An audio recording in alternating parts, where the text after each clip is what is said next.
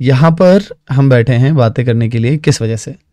इस वजह से बैठे हुए हैं बिकॉज़ के आई एम सो प्राउड कि आप यहाँ पर पहुँचे हैं। आप जब यहाँ पर सामने बैठे हैं तो मुझे वो सारे पल मेरे आँखों के सामने फ्लैश कर रहे हैं। वो आपका यूट्यूब सेशन में आना और चैट में ढेर सारा प्यार भरना और ढेर सारे डिस्कशन करना। वहाँ से लेकर के फिर टेलीग्राम पर ढेर सारे डाउट्स डिस्कस करना। बहुत सारी बातें हैं जो आउटलायर्स प्रोग्राम में आप लोगों से डिस्कस हुई।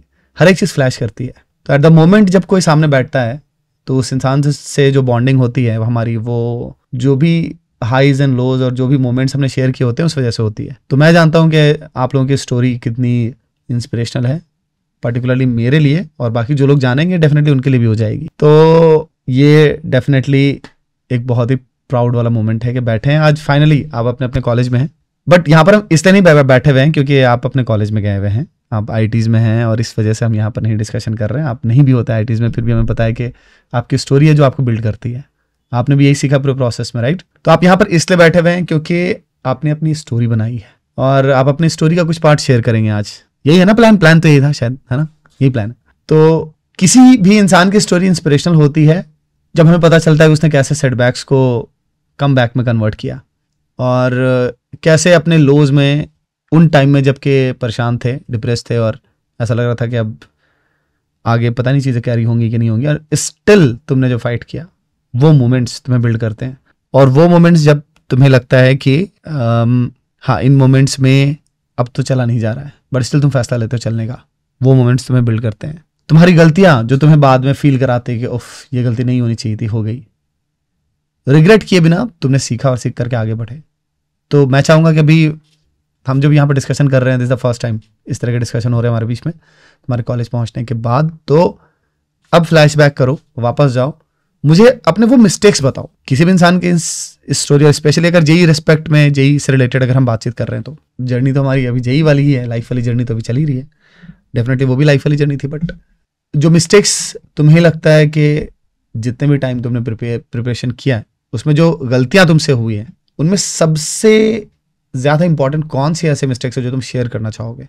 मिस्टेक्स के साथ साथ सॉल्यूशन जिस पर तुमने काम किया, वो तुम शेयर करो, ठीक है? तो मिताली, आपको स्टार्ट ऐसा होता था ना कि हम कभी भी पूरा टेस्ट नहीं देते थे। मतलब पूरे तीन घंटे बैठ के टेस्ट नहीं देते थे। हमारा जो फिजिक्स केमिस्ट्री था, वो स्ट्रांग था और मैथ्स वगैरह बहुत वीक था। तो ऐसा होता था कि हमारा वन आवर थर्टी मिनट्स हम फिजिक्स केमिस्ट्री कर लेते थे कंप्लीट हो जाता था उसमें। और उसके बाद थर्टी मिनट्स हम मैथ्स ट्राई करते थे बट वो हमसे होता नहीं था।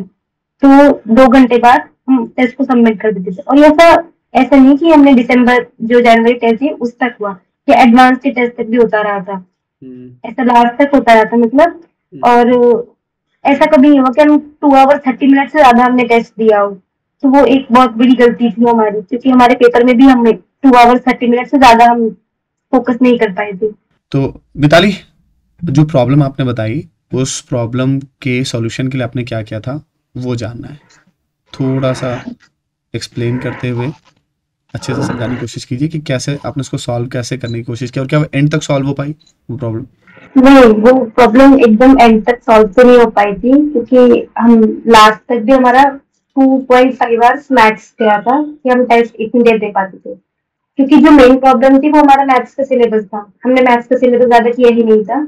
तो हमने इसको ठीक किया कि हमने कुछ ना कुछ चैप्टर्स बढ़ा लिए मैथ्स में, जिससे कि थोड़ा टाइम सॉल्विंग करने को मिल जाता था टेस्ट में, जिससे हमारा 2.5 आवर्स तक चला जाता था टेस्ट ऐसे जेई मेंस तक तो वो टू आवर्स तक था. फिर जेई मेन्स के बाद जे एडवांस का जब किया था तो उसको फिर हमने 2.5 आवर्स तक किया था, क्योंकि मैथ्स का सिलेबस हमने थोड़ा सा बढ़ा लिया था उसमें. ओके तो बेसिकली सिलेबस बढ़ाया तो उससे ज़्यादा क्वेश्चन टच करने लायक बन गया ना। हाँ, और हाँ, अच्छा कर सकते थे कुछ क्वेश्चंस इस प्रॉब्लम का सॉल्यूशन पूरी तरह से तो नहीं निकला।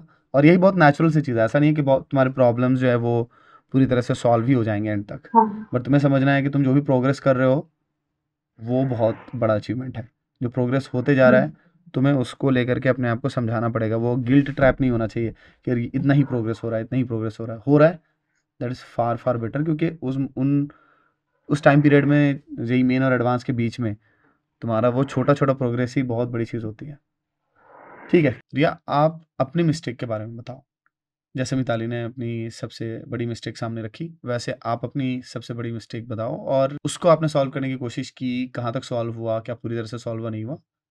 बताइए। मेरी जो मेजर मिस्टेक थी वो यही थी कि जितनी भी मेरी प्रॉब्लम्स होती थी, मैं उनके बारे में सोचती ज़्यादा थी। और मैं सोचने की वजह से उनको ओवर प्लान कर लेती थी और ओवर प्लान करके बहुत ज़्यादा टाइम निकाल देती थी। और जब मैं एक्चुअल एक्शंस लेना स्टार्ट करती थी, तब तक बहुत टाइम हो चुका होता था। ये स्टार्टिंग में तो रियलाइज़ नहीं हुआ था, क्योंकि मैं पहले बहुत सोचती थी कि क्या करना है, कैसे करना है, कब करना है। लेकिन धीरे धीरे बाद में जब करने लगती थी, तब रियलाइज़ होता था कि इतनी ओवर प्लानिंग का कोई फ़ायदा नहीं हो रहा है। तो ये इतनी देर जो टाइम दिया है, वो एक तरीके से वेस्ट हो रहा है। तो फिर ये बहुत ज़्यादा दे दिया था अब तो टाइम लेकिन नेक्स्ट टाइम से मैं धीरे धीरे इनको कम करती थी। तो लास्ट में जाते जाते एडवांस से पहले तक ऐसा हो गया था कि इतना ज़्यादा तो टाइम मैं नहीं देती थी इन चीज़ों पे। बस मैं रफ प्लानिंग कर लेती थी कि ये ये करना है और एक्शन स्टार्ट करती थी। क्योंकि एक्शन जल्दी लेती थी तो गलतियाँ जल्दी होती थी और गलतियाँ जल्दी होती थी तो सीखती ज़्यादा थी। और फिर प्लानिंग उसके बेसिस पे धीरे धीरे सही हो जाती थी। तो यही था कि प्लान इतना भी नहीं करना है एक्शन जल्दी लेना है, फिर प्रोग्रेस करते करते चीज़ें अपने आप सही हो जाती